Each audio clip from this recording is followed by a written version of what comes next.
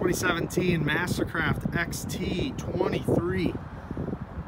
115 hours on the 5.7 liter Ilmor.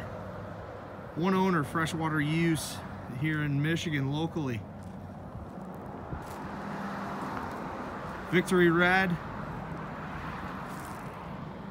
white deck, white accent with black accent.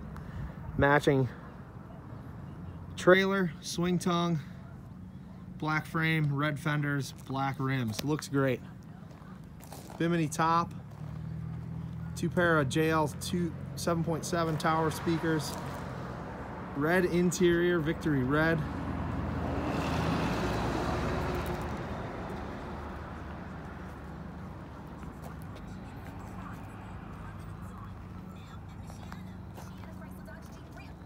Mastercraft, I believe Gen 2 surf system on it.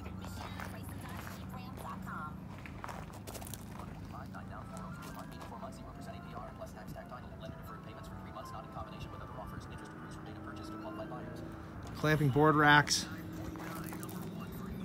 mechanical dropping tower.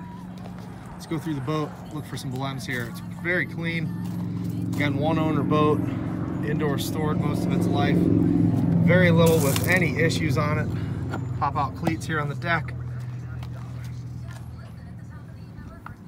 Some dust on it, that's about it. She needs to get splashed for here for 2020. Summer is coming.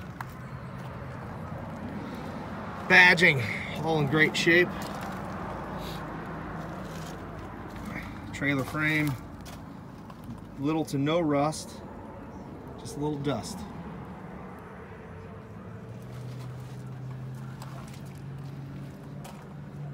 Midship pop-out cleats.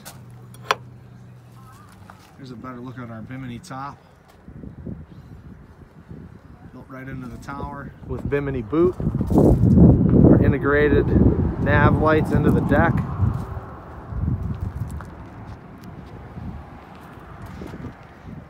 Little water spotting on the red under the hull, but a great looking boat. Some bunk scuff marks, nothing terrible.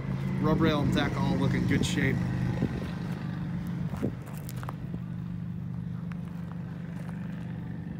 That's a two inch ball jack, a two inch ball on the trailer hitch and a swing tongue, seven round trailer connector.